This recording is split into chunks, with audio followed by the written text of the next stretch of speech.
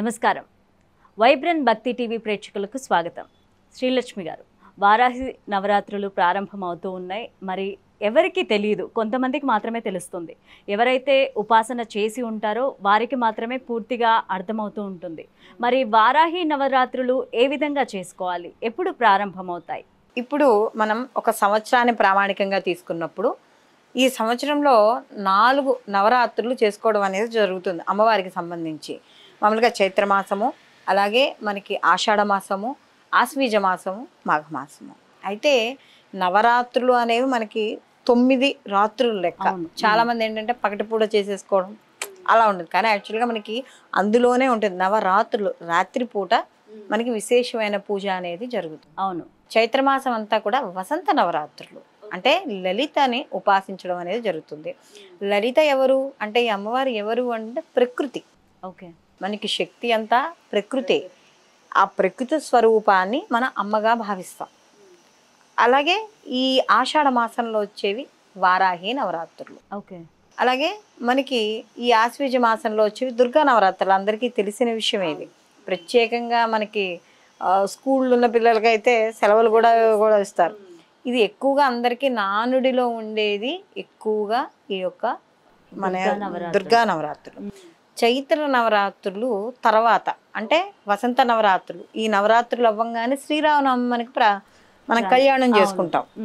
ఆ చివరి రోజు అంటే నవరాత్రి చివరి రోజు రాముల వారి కళ్యాణం. అందుకనే లలితకి రాము రాముల వారికి తేడా లేదు అని చెప్తాం మనం చెప్పడం కూడా. అందుకనే శ్యామల కృష్ణుడు ఒకేలా ఉంటారు ఇద్దరు నల్లగానే ఉంటారు. అవును.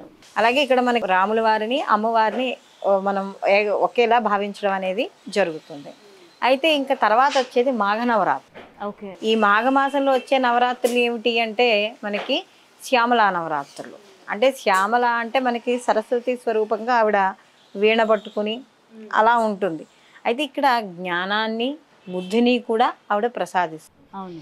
వారాహి నవరాత్రులు ఈ మధ్య కాలంలో యాక్చువల్గా వారాహి ఈ యొక్క శ్యామలా నవరాత్రులు ఈ రెండు గుప్త నవరాత్రులు అని చెప్తారు. ఓకే. అసలు గుప్త నవరాత్రులు అంటే ఏమిటి? ఎందుకు? మరి ఈ రెండింటికి ఎందుకు చెప్పలేదు? చైత్రమాసంలో వచ్చేదానికి ఆశ్వీజ మాసంలో వచ్చేదానికి గుప్త నవరాత్రులు అని చెప్పలేదే? అవును. ఈ రెండింటికి ఎందుకు చెప్పారు అంటే ఈ రెండు ఉపాసనా మార్గంలో పూర్తిగా నియమనిష్టలతో అక్కడ శాస్త్రం ఏదైతే చెప్పిందో దాన్ని వందకు వంద శాతం పాటిస్తూ. దాన్ని ఎవరైతే చేస్తారో వాళ్ళు మాత్రమే ఈ యొక్క శ్యామల వారాహి నవరాత్రులు చేయమని చెప్తున్నారు. ఓకే అందులో గుప్త నవరాత్రులు అంటే ఇవి బహిర్గతంగా మనం ఇంత మైకులు పెట్టుకుని మన దుర్గా ఉత్సవం ఉత్సవంలాగా మనం ఇప్పుడు చూడండి ఆశ్వీజ మాసంలో వచ్చే నవరాత్రులకి ఏం చేస్తాం? ఒక్కొక్క అవతారము. అంటే ఈ అవతారాలు అవన్నీ దేనికి అంటే ప్రజలకి అర్థం అవ్వడానికి అంటే భక్తి మార్గంలో ఎవరో ఒకళ్ళు ఏదో ఒక దానికి కనెక్ట్ అవుతారు. ఇప్పుడు మీకు గణపతి అంటే ఇష్టం ఉండొచ్చు. నాకు అమ్మవారు అంటే ఇష్టం ఉండొచ్చు. ఇంకొకళ్ళకి వేరే ఒక నరసింహస్వామో లేకపోతే దత్తాత్రేయులు వారో ఇంకొక అమ్మవారో ఎవరో ఒకరు అంటే వాళ్ళకి ఇష్టం ఉండొచ్చు. సో ఏమవుతుందంటే అవతారం అనేది ఏమిటి అంటే మన యొక్క దృష్టి నిలబడడానికి. ఓకే. శక్తి స్వరూపం అంతా ఒకటే. అక్కడ రాముడైనా అయినా ఈశ్వరుడైనా అమ్మవారైనా శక్తి స్వరూపం ఉన్నది ఒకటే పరబ్రహ్మ స్వరూపం. ఇందులో రకరకాలు ఏమీ లేవు కానీ మనకి అవ అవతరించిన అప్పుడు ఉన్న పరిస్థితులను బట్టి ఒక అక్కడ రాక్షస సంహారాన్ని బట్టి ఎందుకంటే అవతారము అని చెప్తున్నాం కదా. అవతారము అంటే తార పైనుంచి దిగి రావడం ఈ యొక్క దుష్ట శిక్షణార్థం భగవంతుడు వివిధ రూపాల్లో అవతరిస్తూ ఉంటాడు. కానీ ఈశ్వరుడు ఎక్కడా మీకు అవతరించినట్టు కనపడదు. అవును.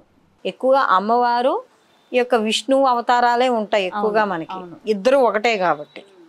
విష్ణు విష్ణు స్వరూపము అమ్మవారి స్వరూపము ఒకటే కాబట్టి వాళ్ళిద్దరే మనకు అవతారాలు ఉంటాయి. అందుకనే చూడండి ఈశ్వరుడు ఎక్కడ అవతరించినట్టు కనపడదు. అలాగే ఎన్ని అమ్మవారు ఎక్కడ ఎక్కడ ఆవిడ మళ్ళీ ఆ ఆ యొక్క అవతార పరిసమాప్తి అయిపోయిన తర్వాత మళ్ళీ అవతారం వచ్చినా కూడా ఆవిడ ఆ తర్వాత అవతారంలో కూడా ఈశ్వరుణ్ణే ఎక్కడున్నాడని చెప్పి ఆయన కోసం తపస్సు చేయడం అనేది జరుగుతుంది. మనకి. ప్రామాణికంగా మనం పురాణ గాథల్లో కానీ మనం తీసు తీసుకున్నప్పుడు. అయితే ఇక్కడ ఈ వారాహి నవరాత్రుల్లో ఉం- ఉండేది ఏంటి అంటే ఇక్కడ మనం శక్తి స్వరూపంగా అమ్మవారిని భా మనం పూజించడం. గుప్త నవరాత్రులు అనేటప్పటికి గుప్తంగా చేసుకునేవి బహిర్గతం చేసేవి మంత్రం కానీ ఆ దీక్షలో ఉన్నప్పుడు కానీ ప్రతిదానికి కూడా ఒక నియమ నిబంధనలు అనేవి ఉంటాయి. కానీ ఇప్పుడు కాలానుసారం ఏమైపోయిందంటే వాటిని కూడా మైకిల్లో పెట్టడం వాటి మంత్రాలు కూడా అందరినీ కూర్చోబెట్టి ఏదో క్లాస్లో కూర్చుని పాఠం చెప్పినట్టుగా బీజాక్షరాలు ఇచ్చేయడం దానికి ఇష్టం వచ్చినట్టుగా చేయడం అనేది అయిపోతుంది. కానీ వారాహికి సంబంధించి అందుకనే మనకి లలితా సహస్రనామంలో కూడా మనకి అమ్మవారి యొక్క శక్తులను చెప్తారు. మనకి చెప్పేటప్పుడు కూడా ఎలాగా అమ్మవారి యొక్క త్రిశక్తి. ఓకే. త్రిశక్తి స్వరూపం. అందుకనే మనకి నవారణలో కూడా చివరికి వెళ్ళేటప్పటికి బిందువు తర్వాత కింద వచ్చేది త్రికోణాకారంలో వస్తుంది. అదే మనకి చూడండి చాలా మంది త్రిశక్తి చేసుకుంటున్నాం అని అంటూ ఉంటారు. అంటే ఒక త్రిభుజాకారంలో ఉంటుంది. లలిత వారాహి శ్యామల. ఓకే. ఈ లలిత అమ్మవారి యొక్క మనకి సైన్యాధ్యక్షురాలు ఈ వారాహీదేవి ఉమ్. అందుకనే విశుక్ర ప్రాణహరణ వారాహి వీర్యానందిత అని చెప్తారు. విశుక్రణ రాక్షసుని చంపింది అమ్మవారు ఈ యొక్క వారాహిదేవి వారాహి అమ్మవారు. కాబట్టి ఏంటంటే ఈ అమ్మవారి యొక్క సైన్యాధ్యక్షులు అంటే మొత్తం ఆ సైన్యము ఇది అనేటప్పటికి ఏమవుతుందంటే మొత్తం ఆ యొక్క ఆధీనం అంతా అంతే కదా. ఇప్పుడు ఒక ఇప్పుడు మనం ఒక ఆర్మీ ఉన్నారనుకోండి ఇప్పుడు మన దాని ప్రకారం చూసుకుంటే దానికి మనకు ఉండే వాళ్ళకి మొత్తం ఆర్మీ అంతా వాళ్ళ చేతుల్లో ఉన్నట్టు అనమాట ఒక సుపీరియర్ టైప్లో ఇక్కడ అమ్మవారు. అయితే ఎందుకు అంటే మనస్సుకు సంబంధించింది. ఆవిడ బుద్ధికి జ్ఞానానికి సంబంధించింది అయితే మనకి వారాహి అమ్మవారు మనస్సుకు సంబంధించింది. అంటే ఏదైనా మనకు మనస్సు నుంచే ప్రేరణ అవుతూ ఉంటుంది. ఒక మంచి అయినా ఒక చెడు అయినా ఒక పని చేయాలన్నా ఇదంతా కూడా ఎక్కడి నుంచి వస్తుంది? మన మనస్సు నుంచే వస్తుంది. ఒకరిని అపార్థం చేసుకోవాలన్నా కూడా అంతే ఫాస్ట్గా. అందుకనే చూడండి మనస్సు చాలా వేగంగా పరిగెడుతుంది అని చెప్తారు ఆలోచన. సో కాబట్టి దాన్ని నిలకడ చేసే శక్తి ఎవరికి ఉంది అంటే ఈ వారాహి అమ్మవారికి ఉంది కాబట్టి ఈవిడ్ని ఎవరైతే ఆరాధన చేస్తారో ఉపాసన చేస్తారో వాళ్ళకి ఈ యొక్క కామ క్రోధాల నుండి అక్కడ వాటిని కంట్రోల్ చేసుకునే శక్తి అనేది ఉంటుందన్నమాట. ఓకే. అంటే ఏది మంచి ఏది చెడు అని కంట్రోల్ చేసుకునే శక్తి ఉంటుంది. సో కాబట్టి అన్ ఆ విధంగా ఇక్కడ ఈ వారాహి అమ్మవారిని కొలవడం అనేది జరుగుతుంది. అండ్ శ్రీలక్ష్మి గారు నేను చాలా బుక్స్లో చదివాను విన్నాను కూడా. అండ్ వారాహి అమ్మవారి బీజాక్షరాలు ఏవైతే ఉన్నాయో అవి చాలా పవర్ఫుల్ అని.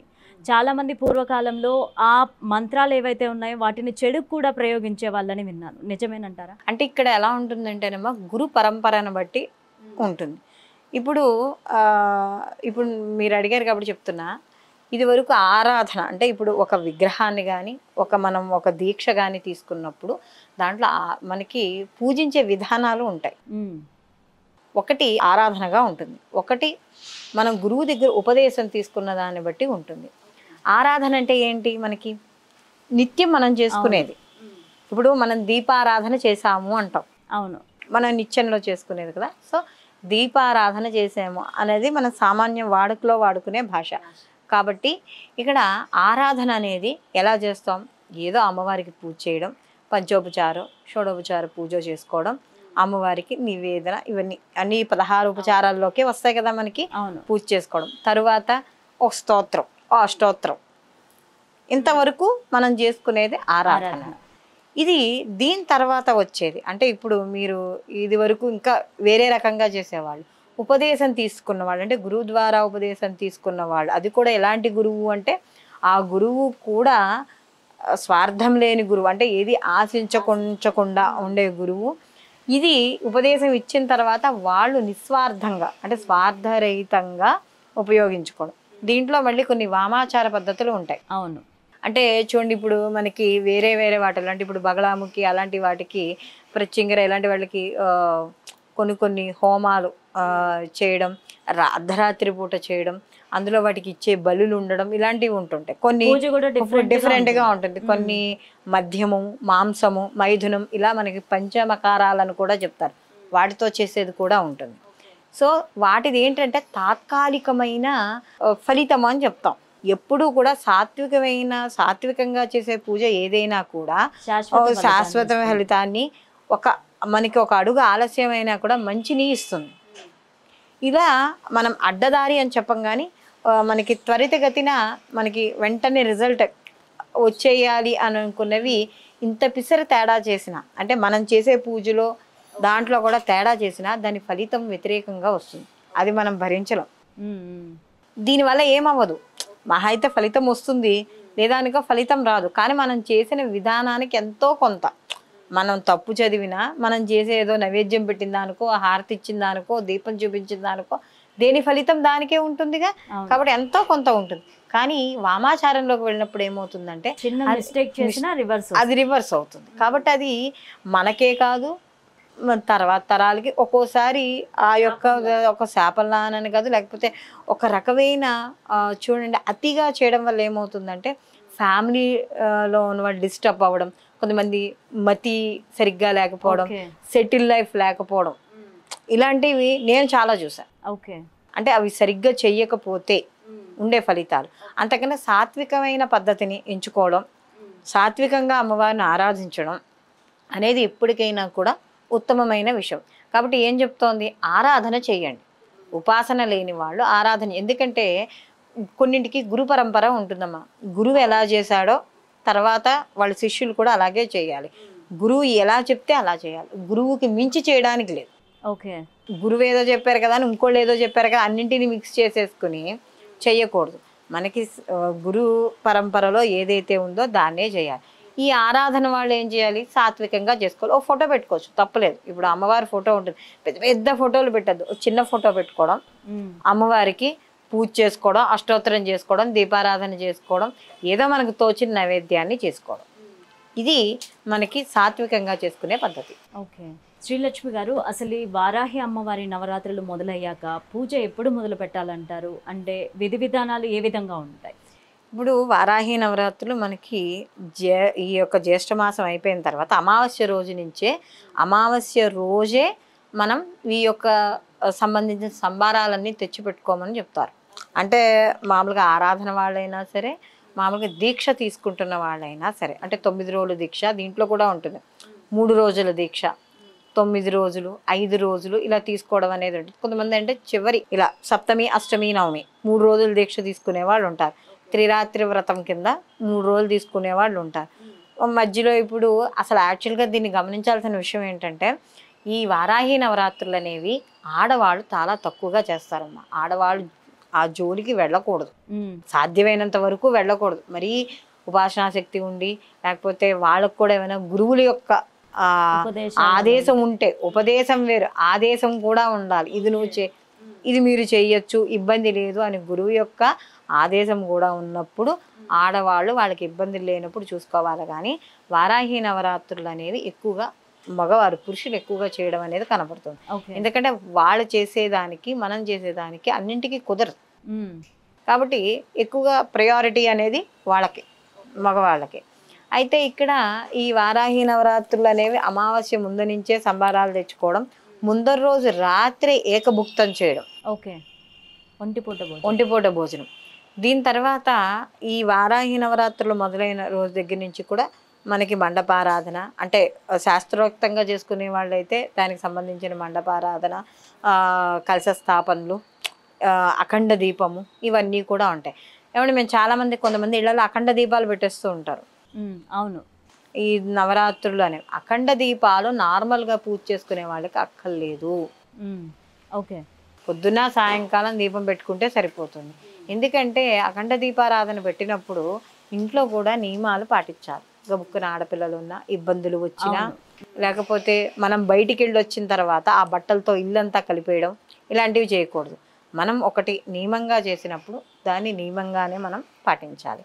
అలాగే ఈ తొమ్మిది రోజులు కూడా ఈ దీక్ష చేసుకున్నప్పుడు మూడు పూట్ల పూజ చేసే విధానం ఉంటుంది. అంటే పొద్దున మధ్యాహ్నం సాయంకాలం. యాక్చువల్గా వారాహి నవరాత్రులు అనేవి ఎప్పుడు రాత్రి పూట పూజ ఉంటుంది. ఓకే. కానీ ఇప్పుడున్న కాలమాన పరిస్థితుల ప్రకారం రాత్రిపూట మనం గంటలు కొడితే ఏ చేతబడులు చేస్తున్నామో ఏమో. అనుకుని ఇబ్బంది పడేవాడు. కొంతమంది అయితే మాకు న్యూసెన్స్గా ఉందని బోడని మంది ఇస్తూ ఉంటారు. కాబట్టి ఏం చేస్తారు అంటే చాలా మంది ఇప్పుడు కాలం ఎందుకంటే ఏదైనా కొంత కాలాన్ని బట్టి కూడా మారుతూ ఉండాలి. మారుతూ ఉన్నాయి కాబట్టి ఏం చేస్తున్నారు? ఆఫ్టర్ సిక్స్ తర్వాత అసస అసలు సంజీవాల తర్వాత మొదలు పెట్టుకుని పది పదకొండు లోపు కంప్లీట్ చేసుకుంటున్నారు.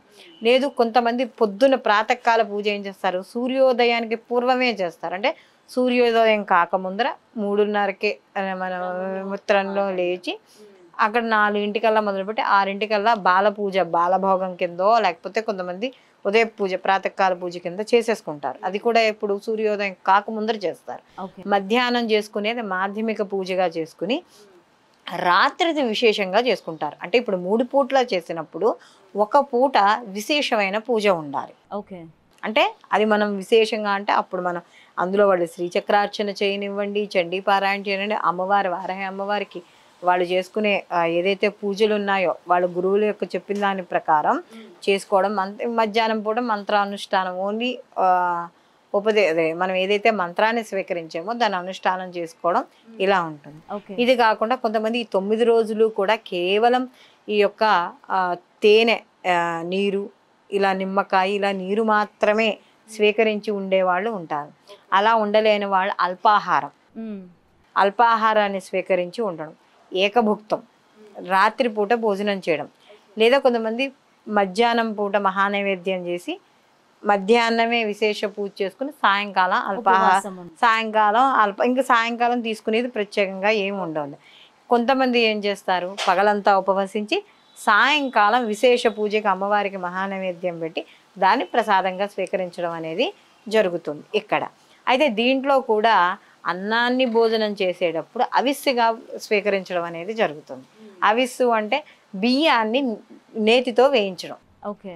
ఎప్పుడైతే నేతిలో వేసి బియ్యాన్ని వేయించామో అప్పుడు దానికి అంటు దోషం అనేది అంటాం. మ్మ్. సో దానివల్ల మనం అన్నం తిన్నాము అనే దోషం మనకు ఆపాదింపబడదు. ఓకే. కాబట్టి అందుకనే ఎవరైనా దీక్షలు తీసుకునే వాళ్ళు ఇప్పుడు చాలా మంది నెల రోజులు లేకపోతే ఇలా కొంతమంది దీక్షలు తీసుకునే వాళ్ళు ఉంటారు.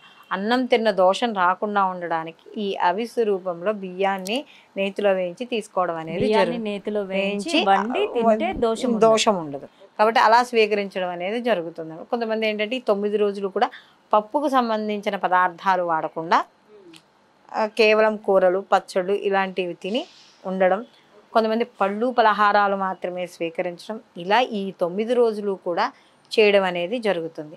ఇందులో కూడా ఏంటంటే విశేషంగా చేసుకునే వాళ్ళల్లో రోజుకి అంటే ఇప్పుడు కొత్తగా వస్తున్నాయి కానీ ఈరోజు ఇది మహా నైవేద్యం పెట్టాలి అమ్మవారికి ఈరోజు ఓ పరవన్న నైవేద్యం పెట్టాలి ఓ దద్దోజనం నైవేద్యం పెట్టాలి అయితే యాక్చువల్గా ఇవి మనకేం ప్రామాణికంగా ఏం లేవు నిజం చెప్పాలంటే. ఈ- రోజే కంపల్సరీ ఇది పెట్టాలి. అమ్మవారి ప్రీతి కొరికే అని చెప్పుకొని మనకు నచ్చినవి వండుకుంటున్నాం. కరెక్ట్. అంతేగాని అమ్మవారికి ఇదే పెట్టాలి అదే పెట్టాలి అయితే అమ్మవారికి పాయసాన ప్రియ అని మనకి లలిత సహస్రనామంలో కనబడుతుంది. అంటే అమ్మవారికి ఏమిటంటే గూడాన్నము అంటే ఈ పాయసంతో చేసిన. బెల్లం పొంగలి అదే మనం చక్కెర పొంగలి అంటామే అలాగా. ఆవు పాలతో చేసిన పొంగలి. అంటే అన్న పదార్థంతో తయారైన తీపి పదార్థాలు అమ్మవారికి ఎక్కువగా ఇష్టం. అందుకనే మనం మహానైవేద్యం పెట్టలేనప్పుడు కూడా పులగం నైవేద్యం పెట్టండి అని చెప్తాం. అవును. అన్నం ఉడికించి అందులో పెసలు కొంతమంది కందిపప్పు వాడతారు కొంతమంది ప్రాంతాల్లో కందిపప్పు జీలకర్ర లేదా పెసరపప్పు జీలకర్ర కాస్త అందులో లవణము కొద్దిగా నెయ్యి వేసి పెరుగు బిళ్ళ వేసి వేస్తే మనకి ఆ మహానైవేద్యంతో సమానం అని చెప్తాం. అంటే మనకి వీలు లేనప్పుడు ఇలా నవే నివేదన నివేదన సమర్పించవచ్చు. కాబట్టి వారాహి నవరాత్రులు చేయదలుచుకున్న వాళ్ళు సామాన్యంగా అంటే మన ఆరాధనా పద్ధతిలో చేయదలుచుకున్న వాళ్ళు ఉదయాన్నే లేచి వాళ్ళు ఎలా చేయదలుచుకున్నారో అలా చేసుకోవడం సాయంకాలం విశేష పూజగా చేసుకుని అప్పుడు మీరు ఆ ఏదైతే మహానైవేద్యం పెట్టామో దాన్ని స్వీకరించుకుంటే ఆరాధనా పద్ధతిలో ఎటువంటి దోషము లేదు. ఓకే. ఉపదేశం తీసుకుని ఇచ్చే పద్ధతి వేరే ఉంటుంది కాబట్టి దాని జోలికి పోవాల్సిన అవసరం లేదమ్మా. ఓకే. అండ్ శ్రీలక్ష్మి గారు మనం రీసెంట్గా వింటూనే ఉన్నాం. పవన్ కళ్యాణ్ గారు వారాహి దీక్ష తీసుకున్నారు అని చెప్పి చాలా వార్తలు వింటూ వచ్చాం. అండ్ ఆయన దీక్షలోనే ఉన్నారు ఇప్పుడు. ఆ దీక్ష అంత పవర్ఫుల్ అయినదా? అంటే ఆయన ప్రచారానికి ముందు కానీ ఎలక్షన్స్కి ముందు కానీ వారాహి అమ్మవారికి ప్రత్యేక పూజలు చేసి దీక్ష తీసుకున్నారు. ఇప్పుడు కూడా దీక్షలోనే ఉన్నారు. సో రాజ్యాధికారాన్ని అలా ఇస్తుందంటారా? అంత పవర్ఫుల్ అంటారా? అంటే ఇక్కడ అమ్మవారికి ఇక్కడ ఏమవుతుంది అంటే ఆవిడ ఉద్భవించిన దాన్ని బట్టి మనం కానీ ఇప్పుడు ఆవిడ ఎవరిని సంహరించడం హిరణ్యాక్షుని సంహరించడానికి ఆవిడ ఉద్భవించింది. ఇప్పుడు ఎక్కడైనా సరే ఏ దేవత అయినా సరే అధర్మం ఉన్న చోట ఆవిడ ఉండదు. ఎక్కడైనా అంతే. మనం ఎలా అంటే మేము రాజశ్యామలు చేసామండి.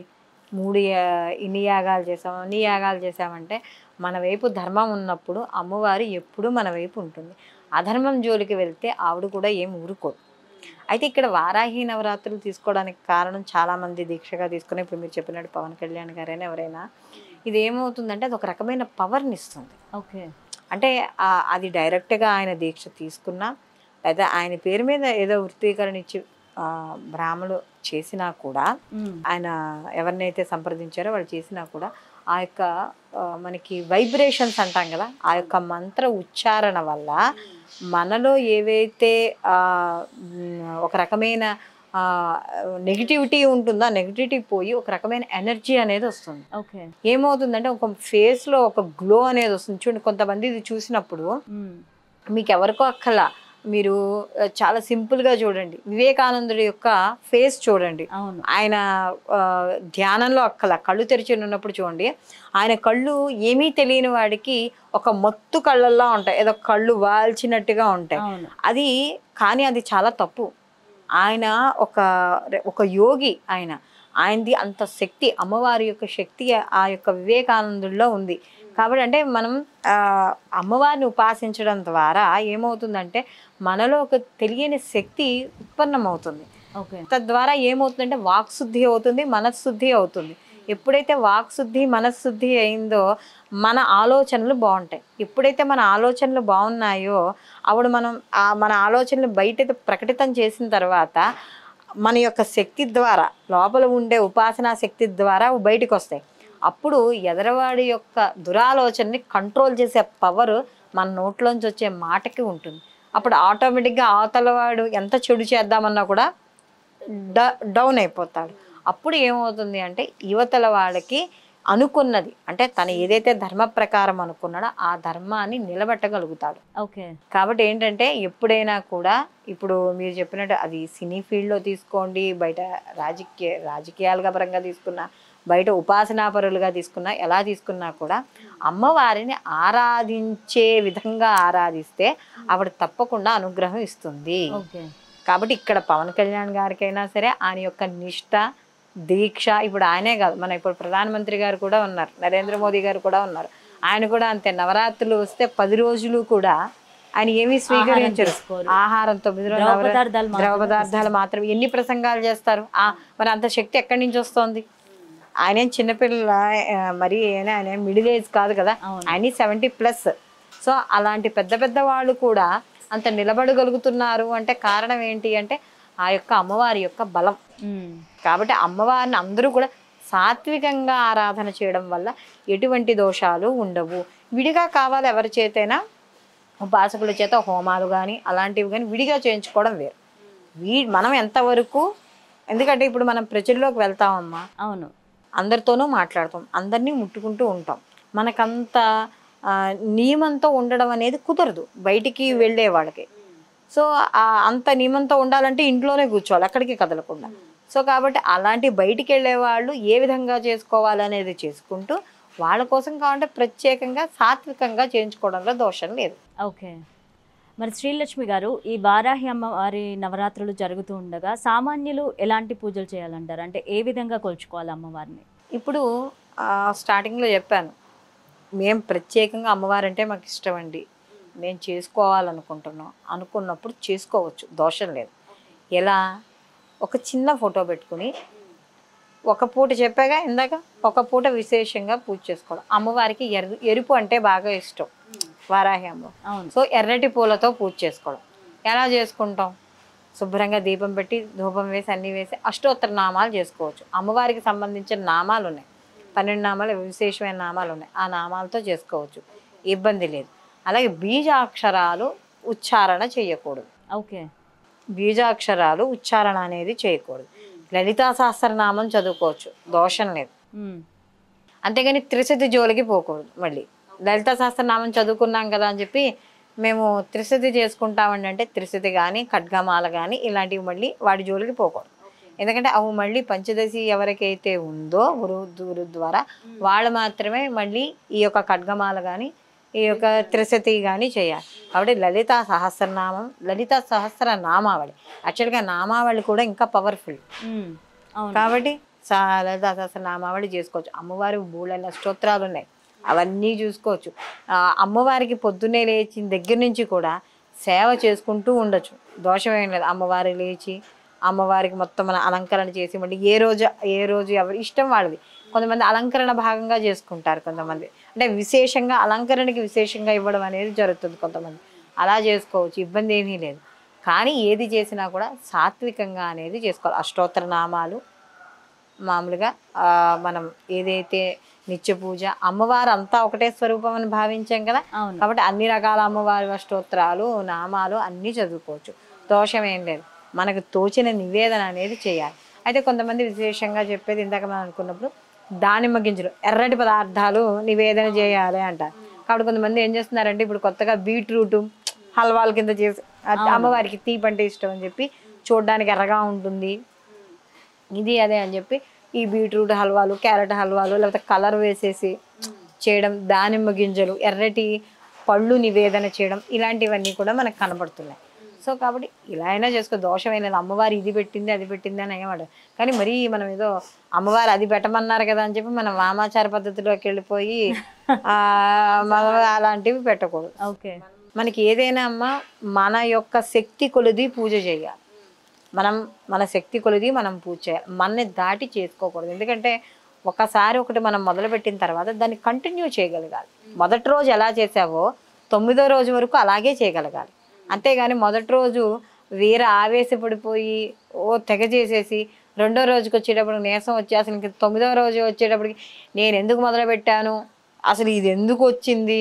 అసలు చేయకుండా ఉంటే బాగుండు? లేకపోతే దృష్టి వేరు మీద ఉండడం? ఇలా కాదు. ఒక గంట చేసిన తొమ్మిది రోజులు ఒకే టైం. రెండు ఇంకోటి ఏంటంటే దీంట్లో ఒక మనకి ఒక టైం అనేది టైం మేనేజ్మెంట్ ప్లస్ ఒక నియమం అనేది పెట్టుకోవాలి.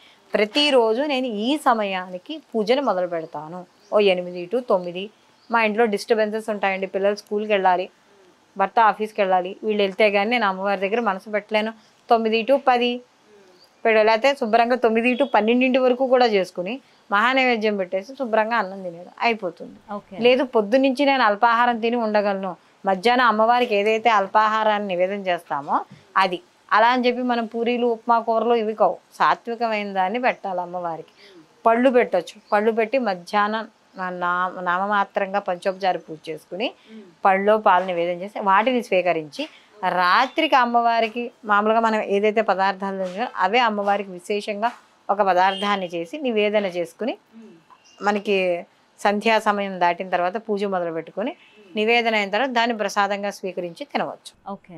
ఇలా చేసుకోవడం ద్వారా కూడా మనకి అమ్మవారి యొక్క అనుగ్రహం సంపూర్ణంగా ఉంటుంది. మొదటి ఏది ఉన్నా లేకపోయినా భక్తి ప్రధానం.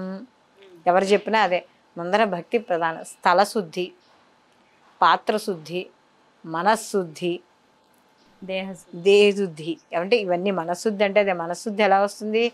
మన యొక్క స్నానం చేసే స్నానము మనకి వస్త్ర శుద్ధి. ఎలా పెడితే అట్లా కాదు ఉండాలి. ఏ స్థల శుద్ధి ఉండాలి.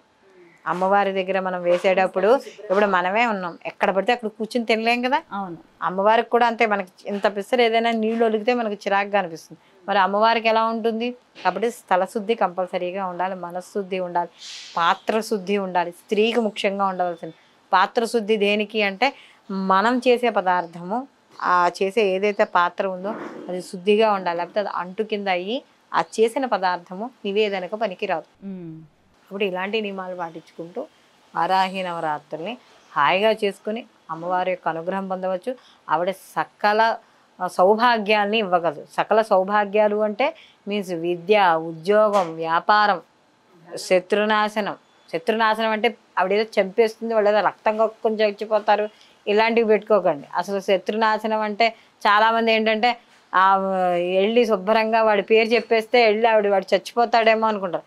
శత్రువులు తగ్గించడం అంటే మన లోపల ఉండేవాళ్ళు కూడా శత్రువులే మన అంతర్శత్రువులు ఉంటారు. ఎవరు అంటే వాడు బాగుపడిపోతున్నాడు అంటే మన కళ్ళు మండిపోతున్నాయి. వా వాడికి ఏదో అయిపోవాలి. ఇలా మనలో మనకి చెడు ఆలోచనలు ఉండేవి చాలా ఉంటాయి. కాబట్టి ముందర మనలో ఉన్న అంతఃశత్రువుల్ని జయించి దాని తర్వాత బహిర్శత్రువులను కూడా అమ్మవారు జయించేలా చేస్తుంది. ఎలా జయిస్తుంది అంటే వాళ్ళ మనసును మారుస్తుంది. అంతేకాని దాని తప్పుడుగా శత్రునాశనం అంటే వాడు నాశనం అయిపోతాడు వాడికి ఏదో యాక్సిడెంట్ అయిపోతుంది అది కాదు.